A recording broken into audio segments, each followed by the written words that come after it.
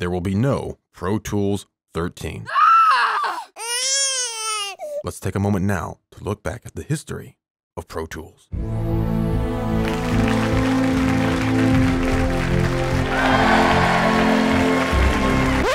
Nah, I'm just kidding. Pro Tools ain't going anywhere. Instead, the versioning is changing. If we compare it to help and about, you can see we have version 2018.1.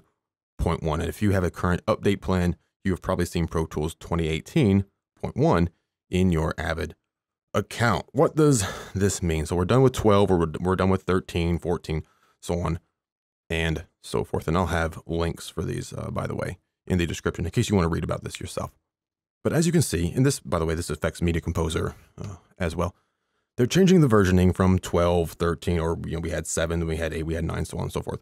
They're changing it to 2018 because that is the year, and then point 1. What does the 1 mean? Well, the point 1 refers to the month that version is released.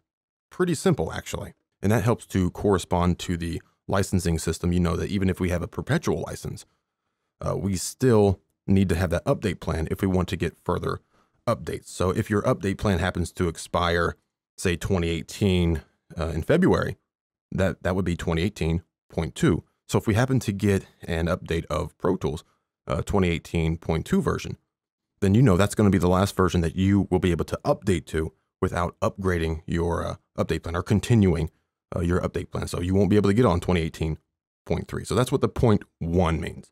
All right, point one is the month. And just as explained here, again, this will be linked below if you want to read this yourself.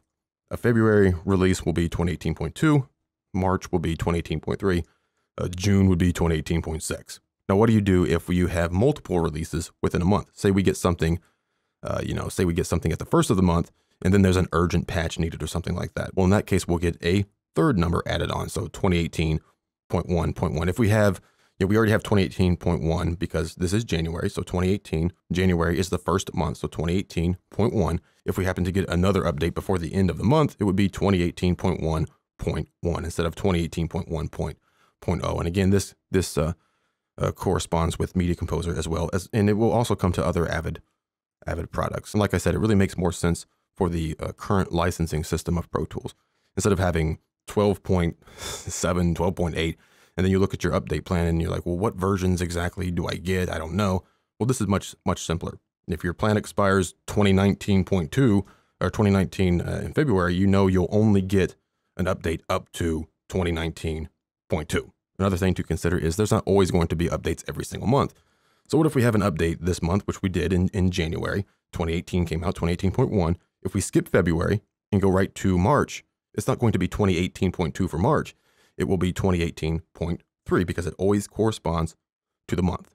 You may also see Pro Tools represented as 18.1 or 18.2, so on and so forth, instead of the full uh, 2018.1 and whatnot, just for reasons when, say, a software uh, installer does not support four characters at the base number, you know, the exe file, the installer, and uh, whatnot. So just be aware of that as well. 2018.1.1 is the same as 18.1.1.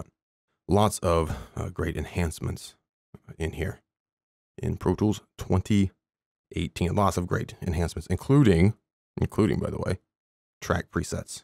I know there's a lot of confusion out there about the uh, the new convention for for numbering your your version of Pro Tools, but it actually makes much more sense. I mean, consider the way Pro Tools is being updated now. We're not holding uh, features for a year or two because a lot of times there would only be one update, one giant update once a year, or maybe even uh, once every two years. It doesn't make sense whenever we're getting brand new features constantly, because if we had Pro Tools 12, the difference between Pro Tools 12.9 would be negligible between Pro Tools 12.9 and Pro Tools 13. It wouldn't make any sense. It would be such a tiny little update. It wouldn't make sense, especially that you would need an upgrade plan anyway. So it might sound confusing, but again, it's not. It's simply the year, the month, and then if there's any other releases during that month, then you'll get that third number. And by the way, look at this here come to an insert. We can save track presets right here, recall inserts, a whole list of inserts all at once. It's, it's uh, pretty cool stuff instead of just our plugins. But again, I'll have all of this linked below so you can check out this information for yourself. But that is your new versioning system for Avid, Pro Tools, and Media Composer.